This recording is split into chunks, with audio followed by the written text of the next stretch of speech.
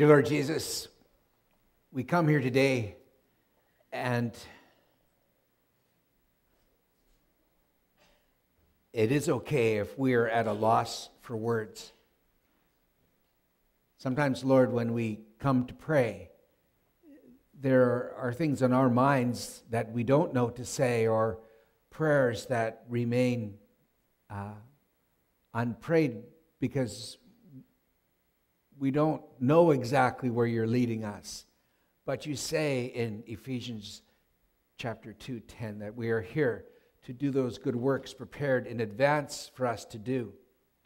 And we don't always have all the answers. And it's times like that that we just need to listen. So, Lord, I pray that you would uh, take the stoppers from our ears, that you would remove the blinders from our eyes and the wax from our hearts so that we could hear you, that we would, for a moment, um, put aside our requests, although you always want to hear them. But today we just want to listen. So, Holy Spirit, will you convey to us the heart of God? Will you speak to us the will of our Father who is in heaven and to help us orient and direct our lives to the affairs of kingdom building. We want to hear you. We want to hear what's on your mind, God. We want to listen to you as children listen to their Father. So, Holy Spirit of the living God, now come and just make our minds clear to receive what God has to say. In Jesus' name, amen.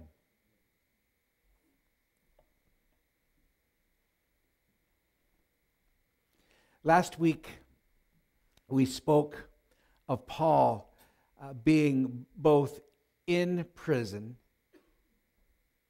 and being a prisoner of the gospel of Jesus Christ. That he was compelled and, and, and drawn by Jesus Christ to stop persecuting the church. And oddly enough, he was chosen by Jesus to be the evangelist, to be the messenger of the gospel of Jesus Christ to the Gentiles, to us.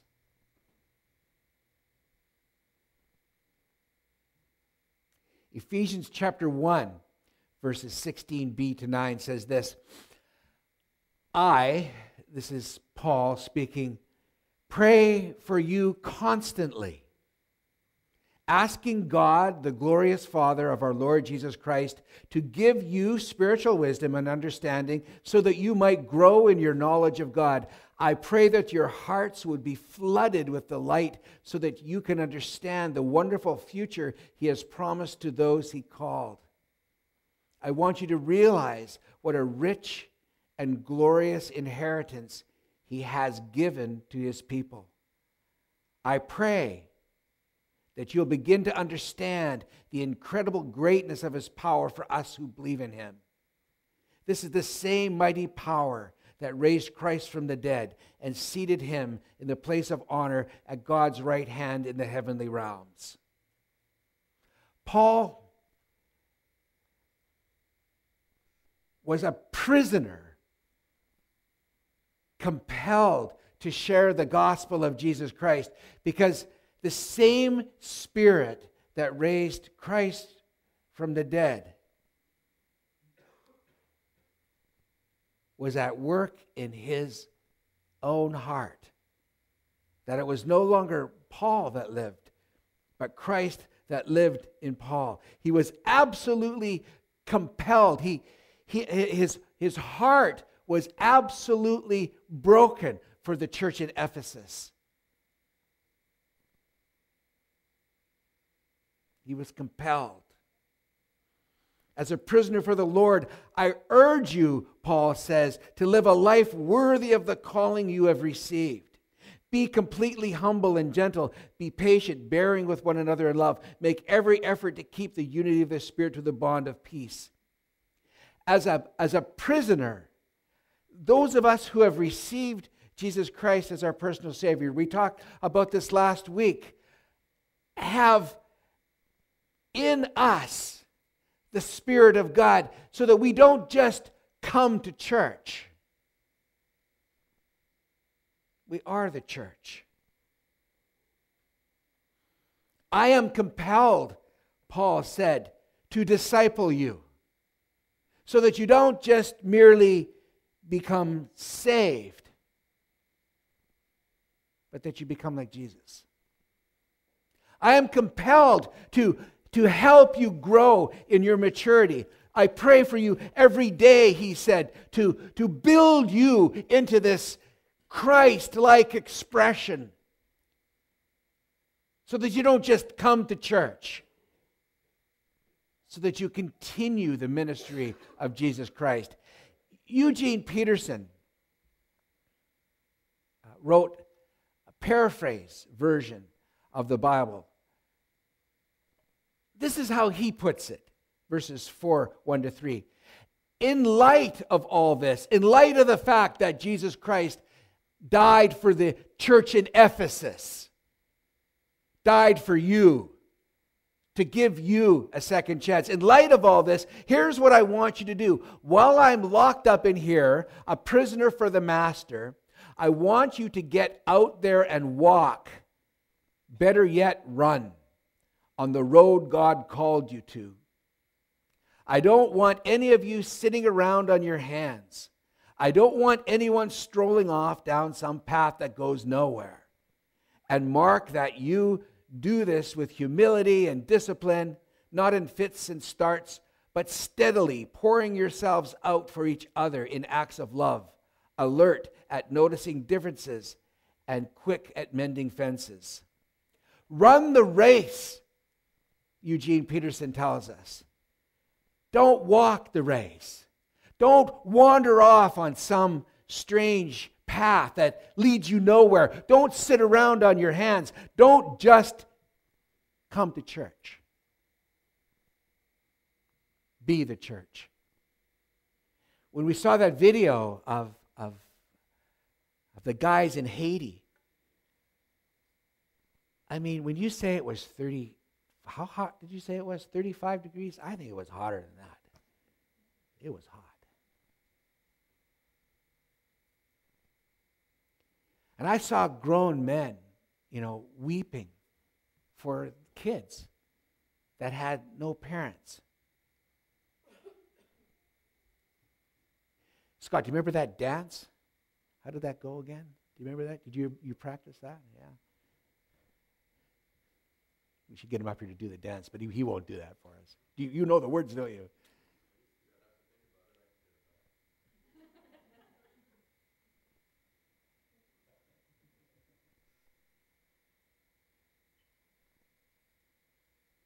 You know, uh, those men didn't sit on their hands, they didn't follow odd paths that lead to nowhere.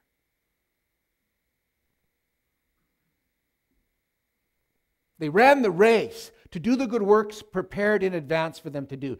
These men were the church. This is what Paul is calling the church in Ephesus to do. I, I think Paul was telling the church in Ephesus that Christianity was not to be lived out on the sidelines. It's not a spectator sport, it's for participants.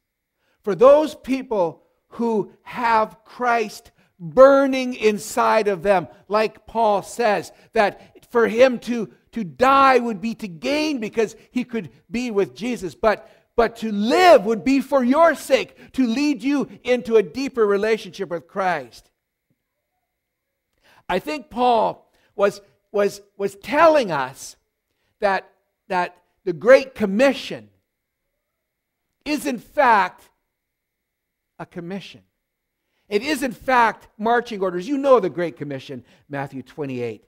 Then Jesus came to them and said, All authority in heaven and earth has been given to me. Therefore, go and make disciples of all nations, baptizing them in the name of the Father, the Son, and the Holy Spirit, and teaching them to obey everything I've commanded you. And surely I am with you always to the very end of the age. Surely I am in you, living through you, church, to the very end of the age. Go and make disciples. Don't just come to church. Be the church. Disciple. When these kids, like think about these kids in Haiti, they are still being discipled by us. We built the water treatment plant for them or contributed greatly to it. Hope we didn't break too many things, but, but we did. So those kids that we saw baptized, they're still being discipled by our prayers. The pastor who was baptizing them, I spent quite a bit of time praying with him. The work that we did as a church is continuing on even today.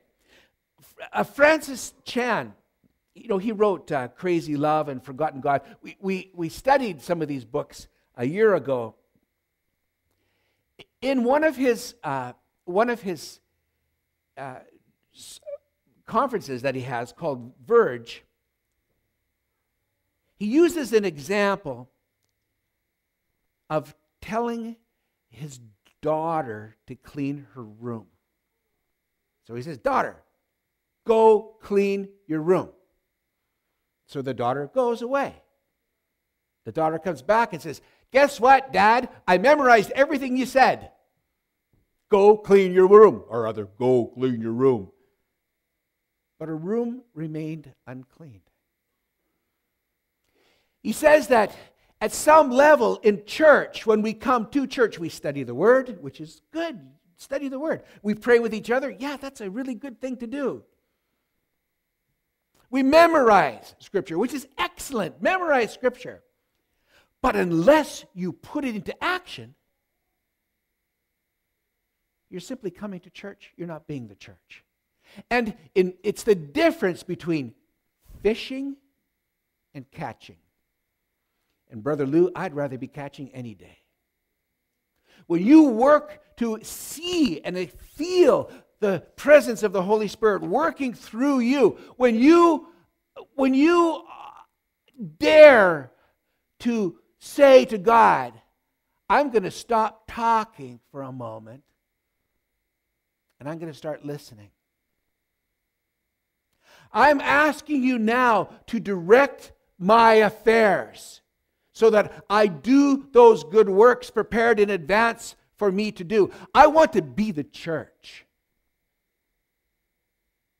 I want to be the church. I want to be actively engaged in extending the kingdom of God. This was the message to the church in Ephesus. And guess what? The proof is in the pudding because they put the temple of Diana out of business.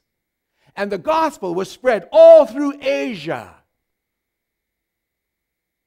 It's the difference between reciting, clean your room, and actually going and cleaning your room. It's the difference between fishing and catching. It's the difference between studying about Jesus and being like Jesus.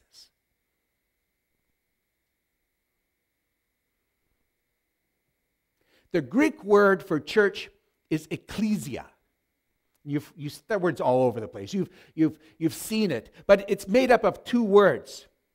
The prefix is, is ek, which means out, and kaleo, which means to call. So called out. Ecclesia simply means called out. Those, those people, those people who have received Jesus Christ as their personal Savior are the church of which Christ is the head. We are called out. Called out to do those good works prepared in advance for us to do. Paul was writing a letter to people who once worshiped idols. He's writing it from the perspective of a man whose once sole purpose in life was to arrest and even kill Christians. He was a demonstration to them the kind of power and the presence that the Spirit of God can do when Jesus inhabits a person's life. When Paul became the church. He was saying to these people the very same call that he had, they have. That The call is an act of partnership. And that call goes out today. Do you get it? We read about the Apostle Paul. We understand that he was a really bad guy. He plotted to have Christians harmed, arrested, and even murdered. Now, he's the one chosen by God to go and share the gospel with Jesus Christ to the Gentiles. If there's hope for Paul, there's hope for us. Ecclesia, called out, adopted, grafted into the family of God. The Jews had the original covenant. Now we're grafted in, molded in heirs to the kingdom of God. That's why he says, I want you to grow up. I want you to realize the rich inheritance, the, the fabulous inheritance that God has called you to. I want you not just to be saved, I want you to be the church. That message resonates today. It's the mango story all over again. What's the fruit of a mango? A mango tree. You know, when, when we disciple someone, when we share our faith with someone, it's not just one soul saved. That soul is planted and the tree grows, and many, many more souls are saved. Every time Krista it, it leads a child to the Lord in Sunday school, we have an entire lifetime of mango trees you know, far outdoing anything we've done. One of the guys that, that I have spent some time discipling, Shane, whose name shall remain nameless. The other day in the parking lot, here's this mango tree praying for me. And I'm going, wow, this discipling relationship is over. This man's now a tree. It's, he's a tree. He's leading people to the Lord. That's what it's like when we share our faith with someone, when, when the Holy Spirit resonates inside of us, and, and those, brother, those of us who are Christians, we know this, right? I mean, I'm not, we're not making anything up here. It burns in us to share our faith. We can't not do it. We are prisoners to this. It's, it's, it's the most compelling thing that a true follower of Jesus Christ will experience is the desire to see people saved so they don't go to hell. So that they have a life that is worth living. John 10 10 says, The thief comes to steal, to kill, to destroy. We see all that. We get that message. All you have to do is walk out the door and you'll see that. But Jesus says, I've come to give you life and to give it more abundantly. We are, we are here to plant mangoes, fruit. Now, we're going to switch a little bit here. John chapter 15, verses 1 to 8. Jesus put it this way. This is, these are the words of, of our master. This is the way he interprets church. I am the true vine, and my Father is the gardener. He cuts off every branch that does not produce fruit. He prunes the branches that do bear fruit so that they will produce even more. You have already been pruned for greater fruitfulness by the message I have given you. Remain in me, and I will remain in you. For a branch cannot produce fruit if it is severed from the vine, and you cannot be fruitful apart from me. Apart from me inhabiting you, there is no fruit. Yes, I am the vine, you are the branches. Those who remain in me and I am them will produce fruit. Not might, not perhaps. They will produce fruit. For apart from me, you can do nothing. Anyone who parts from me is thrown away like a useless branch and withers. Such branches are gathered into a pile and burned. But if you stay joined to me and my words remain in you, you may ask me for any request you like, and it will be granted. My true disciples produce much fruit. This brings great glory to my Father. This is what Cyril was telling us when he introduced the prayer room that answered prayer for those of us who are engaged in kingdom building is a for sure deal. I'm not talking about Mercedes Benz or that kind of stuff. When God puts something on your heart to do those good works prepared in advance for us to do, Jesus prunes us and molds us and shapes us, and it's a little painful and it hurts sometimes. But at the end of the day, we become more like Christ. The ecclesia is the church, this expression of the, of the body of Christ called out of the world and then sent back into the world to be like Jesus. Ecclesia, that's who we are. As Paul puts it, we are prisoners to the gospel. We you know, if you don't know this message, this you may just think I'm a crazy person. You don't get that. But I'm saying to you, church, that, that if you're sensing that there's more to this Christian experience, there is. There is. Lord, I acknowledge that I am a prisoner to the gospel. I can't turn it off. It is in my bones. It is so deeply ingrained in me that I can't turn it off even if I wanted to. I don't always do things right. The church in Ephesus didn't always do things right. They weren't perfect. They didn't, they didn't become Christians and then they were instantly like neat and cool church is messy and it's chaotic. People grow and they make mistakes. But this is one thing. Remember, we said, what, what, if Paul had a life verse, this might be it. Philippians 4. For I can do everything with the help of Christ who gives me the strength that I need. For I can do everything with the help of Christ who gives me the strength that I need. Anyone who believes in me will do what I've been doing. In fact, he'll do even greater things than these because I'm going to be with the Father. Ask me for anything in my name, and I'll give it to you the glory of the Father. This is the kind of prayer, this is the kind of gusto, this is the kind of expression of ecclesia that God wants to call his church into. Oh, it's great to come to church and it's great to sing. That's a, um, it's fantastic. I mean, I, I love to do that.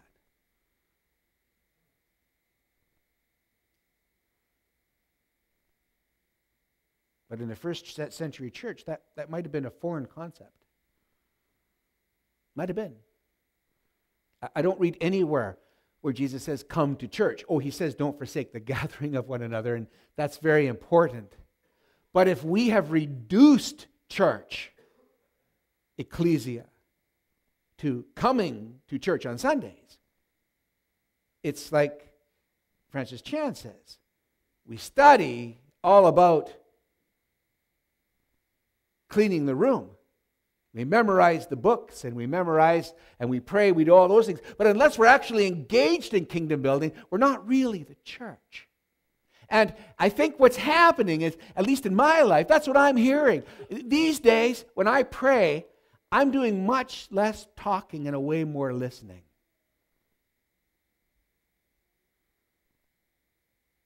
I hope that's happening to you. That, that you're getting these messages that, that Jesus is saying. Go into the world and be like me. And don't be afraid to share your faith because guess what? What, what did we learn? We learned that the Holy Spirit goes way ahead of us. There's an ark. Oh, the, the, they've all oh, way ahead of us. All we got to do is show up. What, nobody comes to the Father, Jesus says unless he is drawn.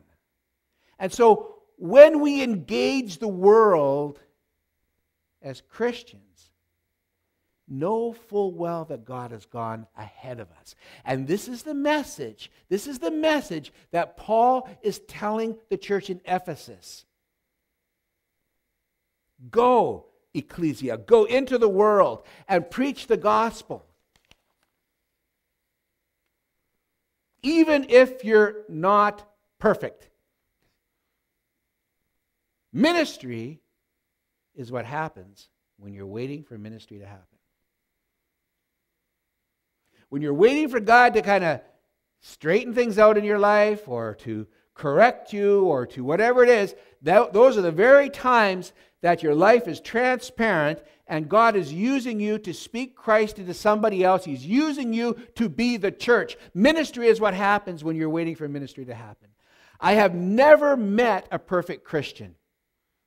There's no such thing. Paul certainly was not perfect. He was, uh, I guess we could call him a murderer. At least he was an accomplice as a murderer, and he would, by today's laws, he would certainly be charged as a murderer. Christians are not perfect. You are not perfect. Uh, uh, I, I believe Paul's life is saying to the church don't wait to get your stuff in order before you start ministry. Just start doing it. Start being like Christ right away.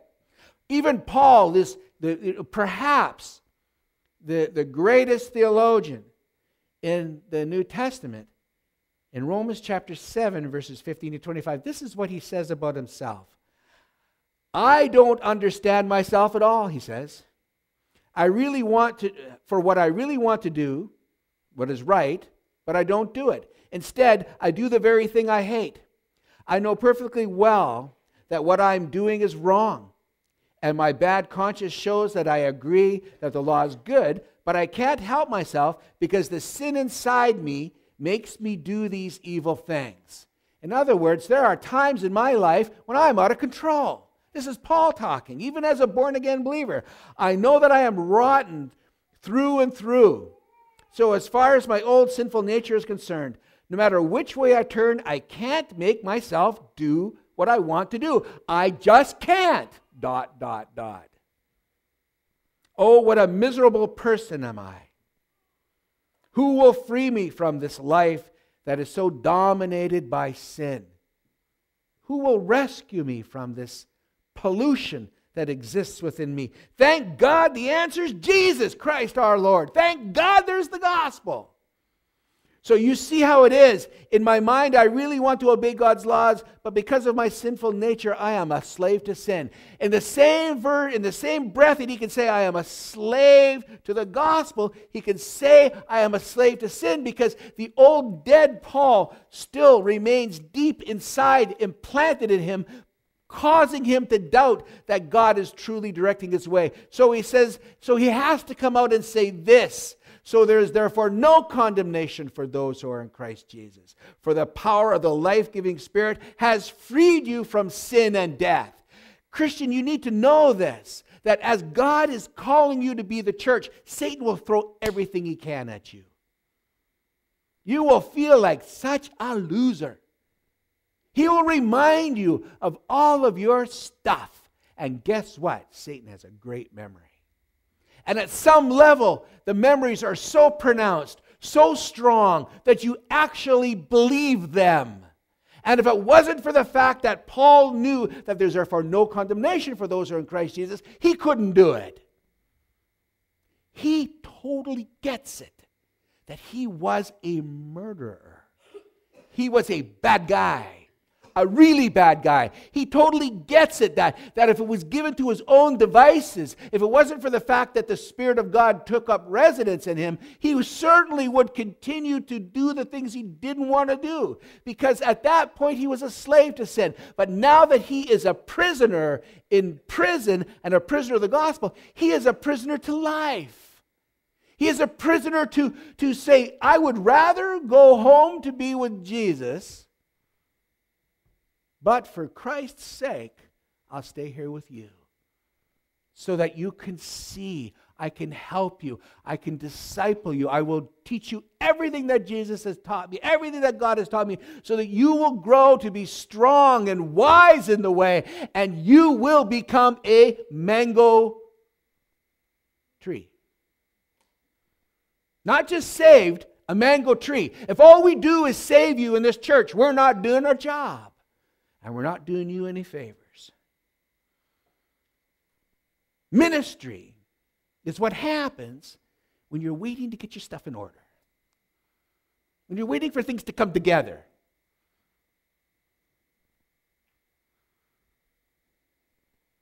Course corrections. this is hard. This is hard for me to say. Hey, put yourself in these in these positions and see what God says. Be completely humble and gentle. How many of us are completely humble and gentle all the time? We're not. But it's what we shoot for.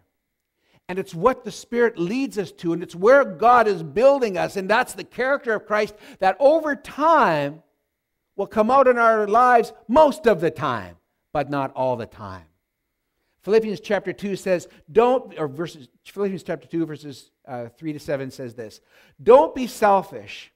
Don't live to make a good impression on others. Be humble, thinking of others as better than yourself.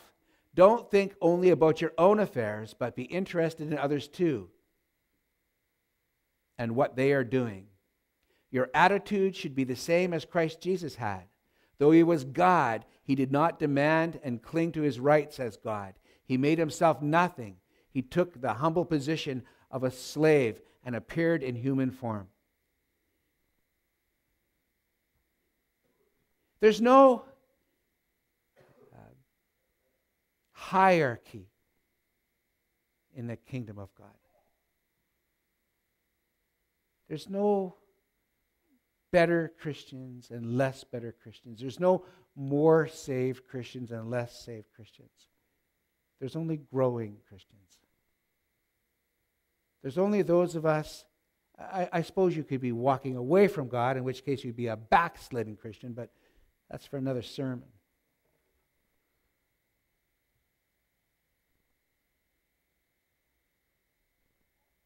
There's no low hanging fruit. There's no there's none of us who are uh, less than others. To, to be like Christ is to emulate the character of Paul when he says that I'd rather be home with Jesus. But I'm making a conscious choice to stay here, to serve Christ, to disciple you. To die is to gain, he said. The church, us, the ecclesia, for as long as we are here on the face of this earth, God is asking us to consider others as more valuable than us. So that our lives get poured out in not just saving people's souls, but in planting mangoes. So that our children, so that the people that we lead to the Lord aren't just buying an insurance policy against hell, which they are, I guess, but that they have that same burning desire to see others come to the Lord that we do. That they won't be able to turn that off. That they will, in fact, outpace us. That they won't just walk through their Christian life, like Eugene Peterson says, they'll run through it. Yes! I can pray for this person or this thing that God has put on my heart. I can pray for Windsor Park. I can pray for people I don't know yet. The only people we don't know are friends we haven't made yet. That's what a salesman will tell you. Right, Dave? But there's, in the prayer room today, we're, we, were, we were compelled to pray for Windsor Park. We were compelled. Why? Because God put Windsor Park on our, on our hearts. And, and, and He's going to give us opportunities to put Windsor Park um, above our own needs, wants, and desires. He's going to give us an opportunity to be like Christ to Windsor Park or to your boss or to your husband or wife who's not a Christian or whatever. But he's going to give us a chance, an opportunity to be like Jesus, to, to be completely humble and gentle, even though it's against our own nature. Now, some of you are better at that than others. Some of you find that easier to do, but most of us won't find it that easy to do, to actually give up what is rightfully ours to somebody else. Be completely humble and gentle. Be patient with one another in love.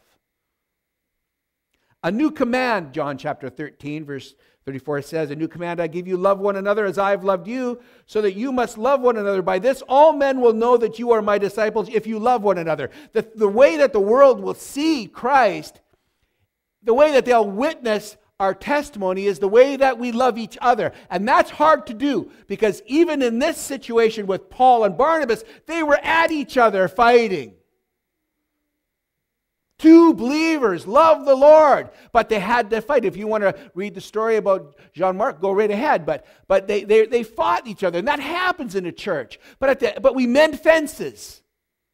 We stop and we show people that at the end of the day, that even though we can be different and have, and even our theologies can be slightly different, or, but at the end of the day, we make mistakes, but we make allowances for each other's mistakes. It's kind of like getting a get out of jail free card. Oh, yeah, everybody's going to make a mistake. We're going to say things. We're even going to sin.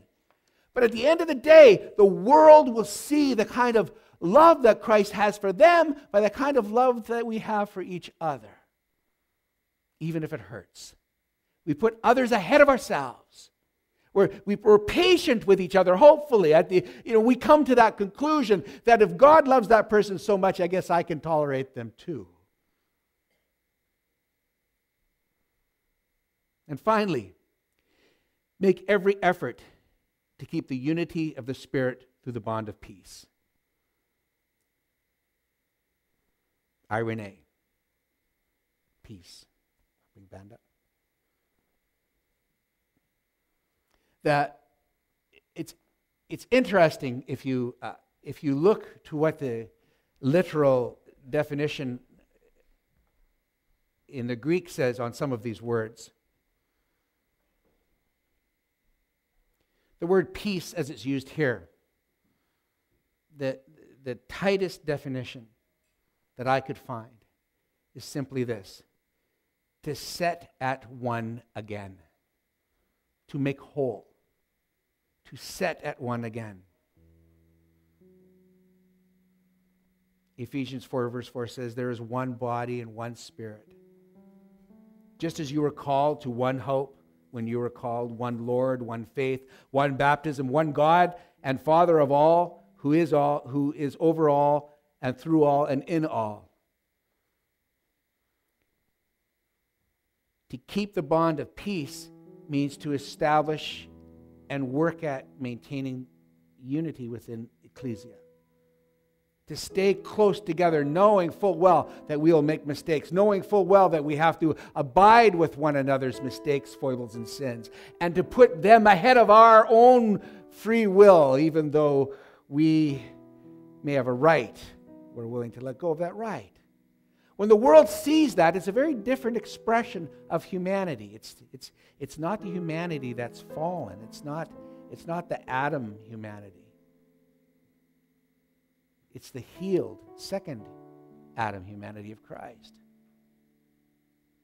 When they can see the kind of love that we share for each other, it's something that they don't have. It's something that they will want. And, and, to, and to cap it off, the very same Spirit that raised Christ from the dead, the very same Spirit that raised Christ from the dead, is alive in each one of us who have accepted Jesus Christ as our personal Savior. Oh, we, we still have that memory like Paul had. You know, Paul said, I don't do the things I do want to do, and I do the things I don't want to do. Sometimes I'm out of control. That's what Paul said. That's what he said. But he also said, There's therefore no condemnation for those who are in Christ Jesus.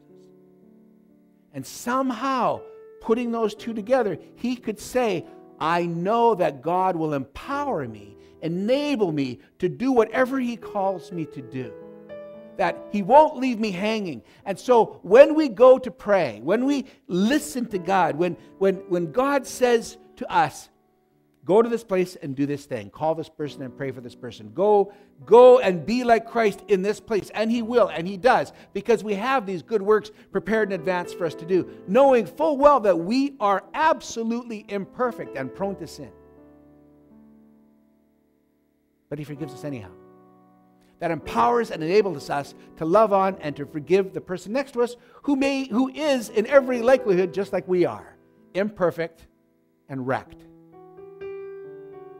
And during that whole chaotic process of growing in the Lord, establishing the inheritance that He's given us all, is ministry. It's ministry. That's when we are the most effective at reaching a fallen world for Christ while we are growing. Ministry is what happens when you're waiting for ministry to happen. It's what happens when you grow in Christ.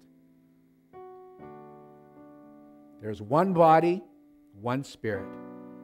Just as you're called to one hope when you were called one Lord, one faith, one baptism, one God and Father of all, who is over all, through all, and in all. The church.